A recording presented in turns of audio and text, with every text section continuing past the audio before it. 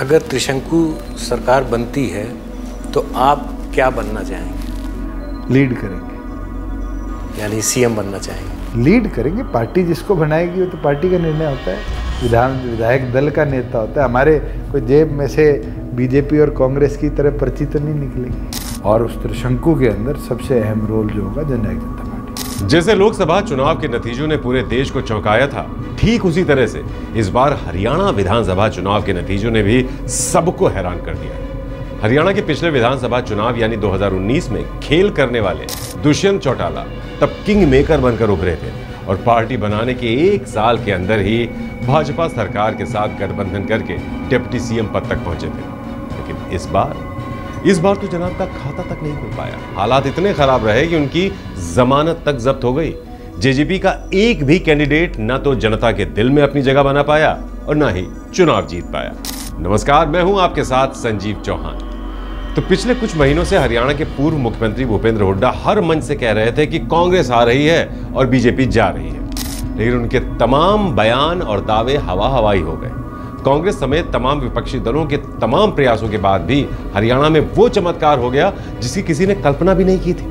क्योंकि ऐसा पहली बार हुआ है जब राज्य में किसी सरकार ने हैट्रिक लगाई हो। जी हाँ लगातार तीन बार सरकार बनाकर हरियाणा में बीजेपी ने इतिहास रच दिया है और साथ ही कई बड़े नेताओं की सियासत पर भी पूर्ण विराम जैसा लगा दिया है। उन्हीं में से एक है हरियाणा के पूर्व डेप्यूटी सीएम दुष्यंत चौटाला, जिनके साथ सबसे बुरी बनी है।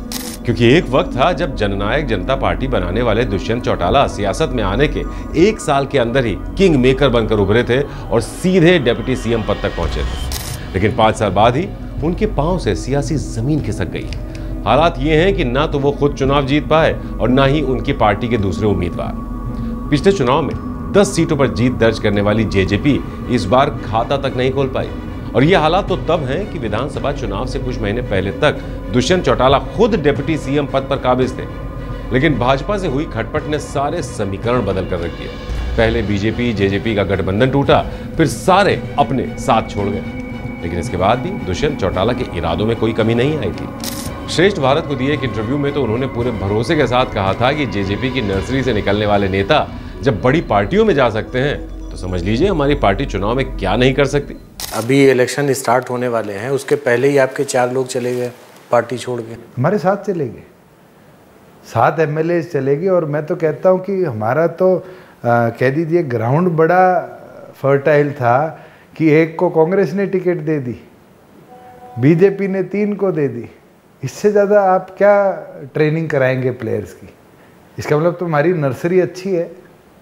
और नर्सरी अच्छी होगी तो पौधा अच्छा होगा। यहाँ तक कि दुष्यंत चौटाला पूरी तरह से आश्वस्त होकर अपनी जीत का दावा कर रहे थे लेकिन उनके तमाम दावों की हवा निकल गई। जिस नायब सैनी को दुष्यंत चौटाला कुछ महीने पहले कच्चा खिलाड़ी बता रहे थे उसी नायब सैनी ने उन्हें कच्चा देकर आज घर पर बिठा दिया है। देखा जाए तो सैनी अभी उनको ज़्यादा वक्त नहीं हुआ और मनोहर लाल खट्टर आ गए केंद्र में। तो कैसे आप काट कर पाएँगे उनकी? देखिए चुनाव है। चुनाव घोषणाओं पे, वादों पर, मुद्दों पर लड़े जाते हैं। पॉलिटिकल पार्टीज़ की कमियों को दिखाया जाता है, गिनवाया जाता है। मेरी कमी मेरे विरोधी यूज़ करेंगे। उनकी कमियाँ मैं यूज़ करूँगा। जब हम जनता के बीच में जाएँगे और वोटर को कन्विंस कर पाएँगे, तभी तो वोटर वोट डालेगा ना। और पाँच अक्टूबर को जब वोट डालेगा, वो तय करेगा कि हरियाणा का नेतृत्व तो किसके हाथ में वो कहते हैं ना, अति आत्मविश्वास अक्सर इंसान को ले डूबता है। कुछ ऐसा ही लगता है, दुष्यंत चौटाला के साथ भी हुआ। उन्हें लगता था कि 36 36 साल के दो युवा नेता ज़रूर हरियाणा की राजनीति को नया आयाम दे सकेंगे लेकिन वैसा कुछ भी हो ना सका। हमारा 55 परसेंट वोटर हरियाणा प्रदेश का लड़का, लड़की आज युवा है। मैं छत्तीस का हूँ, चंद्रशेखर छत्तीस का है। दोनों युवा प्रदेश को युवा नेतृत्व देंगे। हमारा टारगेट ये है, किसान कमेरी की लड़ाई लड़ेंगे। क्या खेती करने वाला एक कम्युनिटी का आदमी हर हर जाति का आदमी खेती करता है। आज हाथ से मेहनत करने वाला आदमी हर कम्युनिटी से आता है। कास्ट वोट अगर मैटर नहीं करता तो चंद्रशेखर के साथ अलायंस करने की ज़रूरत क्या थी? एक और एक ग्यारह। आज दो युवा साथ खड़े होकर आगे बढ़ रहे हैं यही तो ताकत है। आपको बता दें कि हरियाणा का सीएम बनने का दम भरने वाले दुष्यंत चौटाला ने हरियाणा की उचाना कलां सीट से हुंकार भरी थी। लेकिन चुनावी मैदान में वो सबसे लास्ट यानी पाँचवें नंबर पर रह गए। उन्हें पाँच फ़ीसदी से भी कम वोट मिले। दुष्यंत उन नेताओं में शुमार हो गए जिनकी जमानत जब्त हो गई। उचाना कला सीट पर बीजेपी के देवेंद्र अत्री बाजी मार गए, जबकि दूसरे नंबर पर कांग्रेस के ब्रिजेंद्र सिंह रहे। तीसरे नंबर पर दो निर्दलीय उम्मीदवार रहे और इस तरह से हरियाणा के पूर्व डिप्टी सीएम लुढ़क कर पाँचवें नंबर पर पहुँच गए। इतनी बुरी हार की शायद दुष्यंत चौटाला या उनके परिवार ने भी कभी सपने में भी कल्पना नहीं की होगी। उनके चाचा का हाल भी कुछ ऐसा ही हुआ इनेलो नेता, अभय चौटाला। ये जनाब भी लगातार हरियाणा में बदलाव की बात कर रहे थे। बसपा के साथ गठबंधन करके प्रदेश में सरकार बनाने का ख्वाब देख रहे थे। लेकिन उनके सपनों पर भी हरियाणा की जनता ने पानी फेर दिया। पूरी 90 सीटें जीतने का दावा करने वाला इनेलो बसपा गठबंधन दो सीटों से भी आगे नहीं बढ़ पाया। अभय चौटाला भी अपनी एलनाबाद सीट तक नहीं बचा पाए। अब लेकिन ऐसा भी नहीं है कि चौटाला परिवार की नर्सरी से निकले हर नेता का अंजाम ही इतना बुरा हुआ हो।